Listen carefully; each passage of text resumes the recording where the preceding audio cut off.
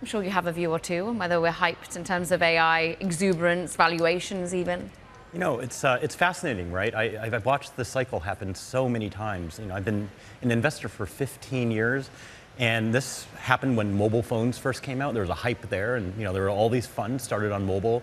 And today, you know, everything is mobile, right? Like, you, can you imagine uh, trying to book an Uber on your web browser? It just doesn't happen. You do it on your phone.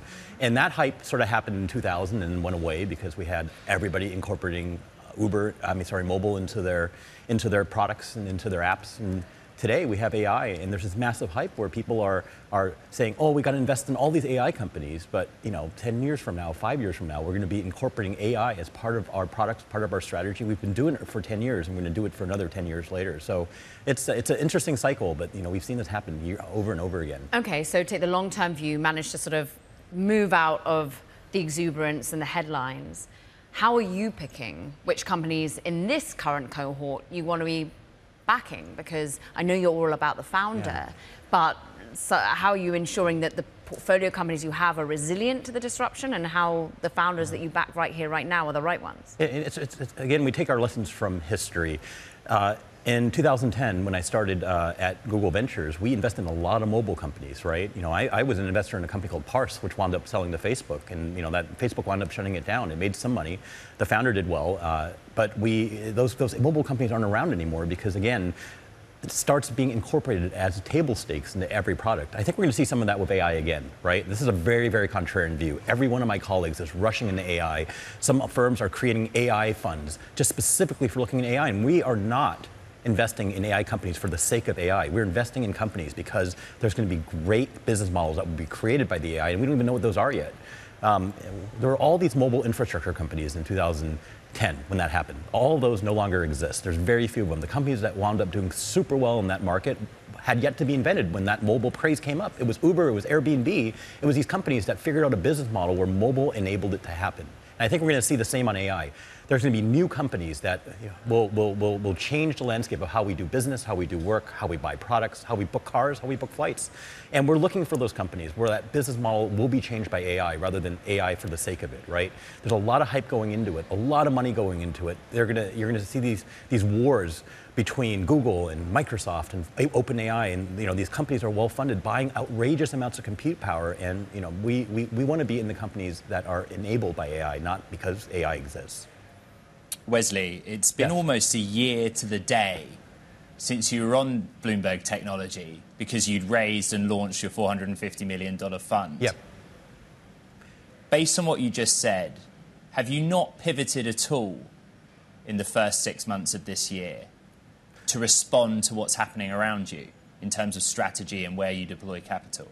We are investing in mission driven founders that have a unique insight on how to change the world when Larry and uh, you know, I, I, spent my first uh, 15 years of my career at Google. I joined very, very early. There were very few people at Google when I joined. It was Sergey Brin's chief of staff, and Sergey is one of the co-founders of Google.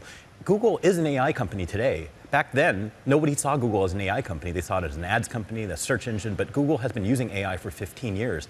We're just investing in founders that get what new business models get enabled because of AI, and we've been doing this, you know, for, for, for the last year, and I've been doing this in my career when I was at uh, Google Ventures in my previous fund for the last 15 years.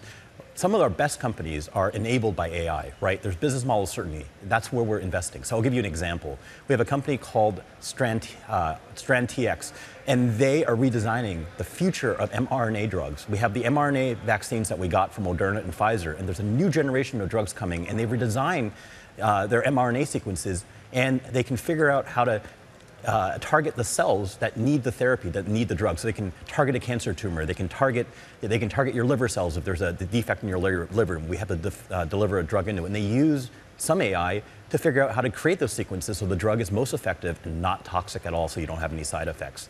We have another company called Enveda, right. for example, that is doing AI. They use AI in the data on mass spectrometry to find natural compounds that are able to be future drugs for people to help cure, cure, disease, skin diseases, cancer. These natural compounds have been in use for a while, but how do we turn them into drugs so that they're just not like weird things that people buy at a drugstore? They're using AI to figure that out. There's business model certainty in these businesses, right? If it's a drug company and the AI helps them get to a drug faster, then we know that the drug is very valuable and the market values that. So those are the type of companies we're investing in. They're run by great founders, and the founders truly get that AI is helping them get to the value faster rather than just creating a new AI. Wesley, th- those those are the types of companies, and I actually am really interested in the mechanics Yeah. of how deal making has changed over the last 12 months. So you launched with 450 million last year. Because of the inbound and activity around AI, are you having to write larger checks or write checks with more frequency to keep up with the energy of your industry? Well, we, we- we've never, ever, ever invested into the hype. When there were grocery delivery, you know, companies where people were putting billions of dollars. I remember being pitched five of these grocery delivery companies. You know, in my in my place in New York, every every week I was getting a new postcard for 30% off some 15-minute grocery delivery company, and at one point there were 15 of them. Right? We didn't invest in any of them. Same with the scooters. We don't invest into the hype. So we're investing, for example, into drug discovery, where AI enables that uh, that ability to get to the drug faster and to find a, a cure for cancer faster. And there aren't many people competing in that space for, for, for AI drug discovery companies. In fact, you know, every time we do a deal, there's probably like one or two other investors, you know, looking at that space because everybody's chasing these these overhyped AI companies where you know we don't know which one's the winner. So we're very very contrarian in how we look at companies. We do AI, but we don't do AI for the sake of AI. Just like in 2010, all the people that invested in mobile for the sake of mobile, those companies are no longer around. We love companies that are around for, for decades and, and centuries, if that's possible.